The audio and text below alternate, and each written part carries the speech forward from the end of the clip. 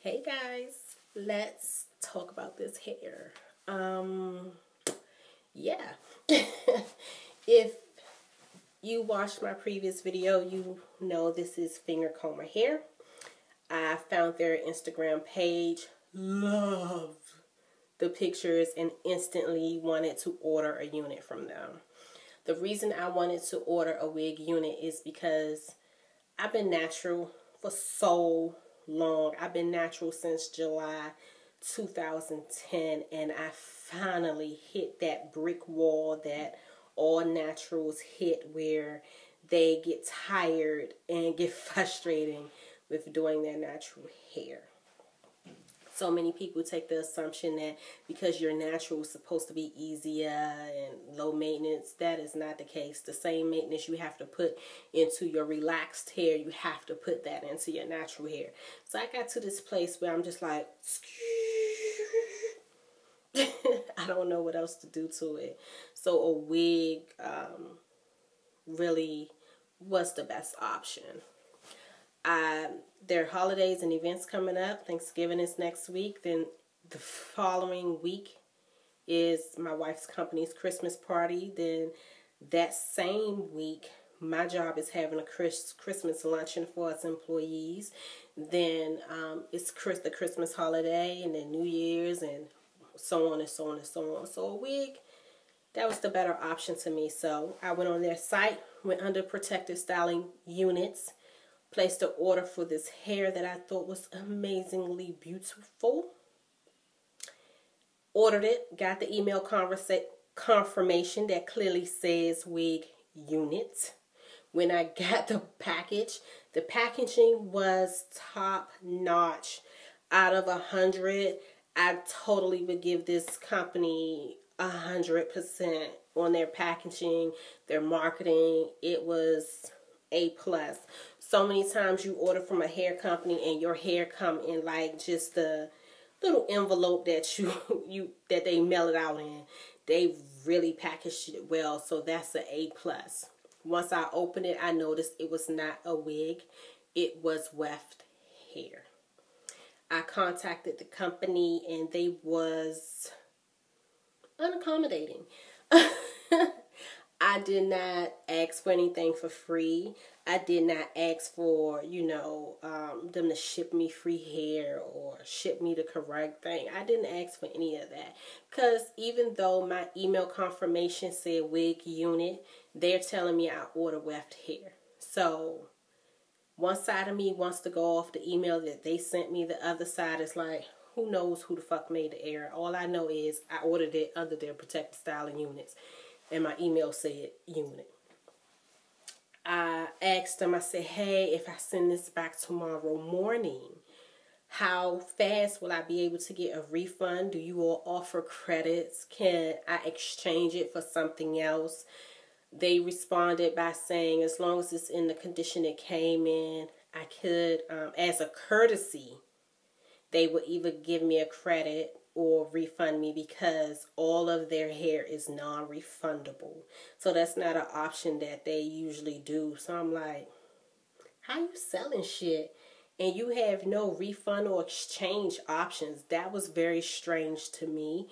Um I didn't ask her, okay, thank you for that offer, but if I order, reorder tomorrow, I'm going to send the hair back and I'm going to order at the same time. How, will I have it at the same pace that I got this hair? Because I ordered this hair last Monday. I got it last Wednesday.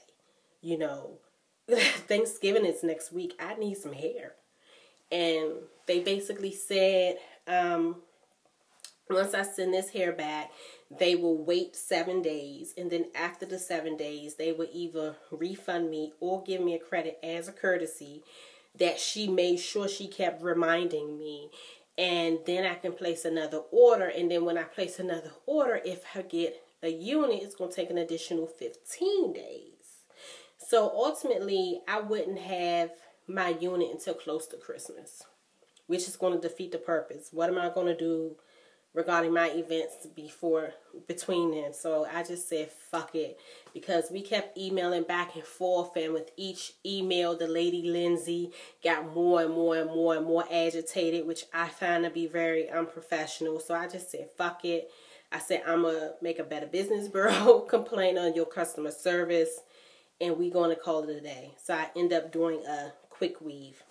I had to part my TWA and glue the hair to my scalp. One bundle. This is one bundle. It was not enough to do a whole wig. I tried. I love making wigs. I tried to use it to do a wig, honey. That was the boniest wig I've ever seen. Um, this is the entire bundle in my hair. And I had to add some synthetic hair that I had left over from the wig that I made that I was wearing in the last video to the back. so, ugh. As for the company themselves communicating, they do not have great customer service. So that makes me a little weary of ordering from them again. What I should have done is Google them I just saw their amazing Instagram and ran with it. If I would have Googled them first, I would have seen that there were several other people who was displeased with the service that they received from this company. Although this is my experience, I don't want people to take what I'm saying and say, "Oh, I'm not gonna order from them," or they did that. This this is my experience. Who knows? You might order from them, and it might be a completely different experience. For me, this is the shit that I got. I got bullshitted. Um, I really do want this unit from them, but after dealing with Lindsay, I wouldn't even. I value my money too much to waste it on such an unprofessional company, and that's that's sad. Um, as for the hair, um, I like it. I like the way I styled it. It took a lot of manipulation. I had to put a lot of product in his hair.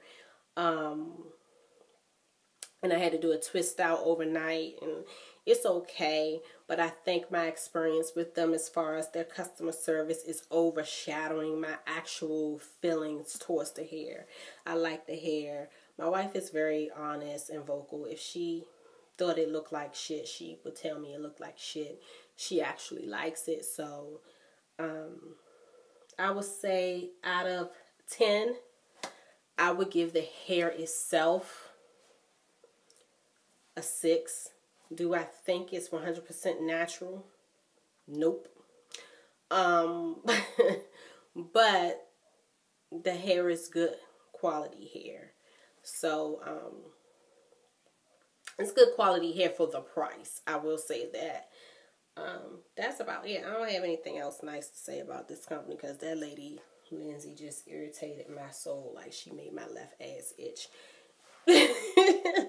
so um, I'll put their site down below just because that's where I ordered it from. Their customer service is some shit, and I think it's fun. You know, I think I'm so frustrated about this whole thing is because the way she act, the way she treated me in the emails, you would have thought I was like, y'all need to send me the right shit. Y'all need to send me a refund. Y'all need to give me a free product, you know, something. I would the way she was acting, you would have thought I was trying to use this company or something. Not at all. I'm the one who had no issue with paying to send it back because the package did not come with a return label because all their sales are final. I'm the one who was willing to pay a difference so I can get the unit. I was the one who was willing to order before they even received the shipment I was going to send back. So to get treated like that, it was just like, fuck that. At this time, I think I will honestly stop being cheap and I will just order from Big Chop Hair. If you haven't heard Big Chop Hair, I'll link them below. The only reason I didn't order from them is because it's Christmas time and I really didn't want to spend that much on hair. But at least with them, I've researched them and I know they have good quality hair and it's worth every penny. So, would I recommend Fingercomber to somebody? Nope. would I recommend other companies to people first? Yes. Um, go to finger comb. comb. If you are looking for a protective style, do not go to finger comb or Go to big chop hair. Go to kinkistry hair. Hell, spend your whole paycheck and go to heat free hair. But just stay away from Fingercomber. I was not pleased. Um, the hair is okay, but their customer service is some shit. Um, yeah.